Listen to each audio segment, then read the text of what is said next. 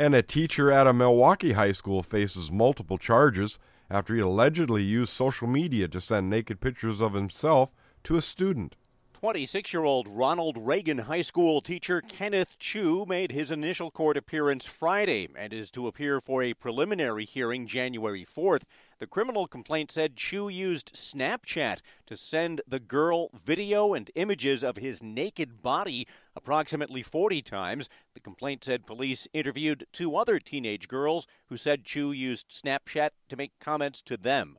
Bob Hague, Wisconsin Radio Network.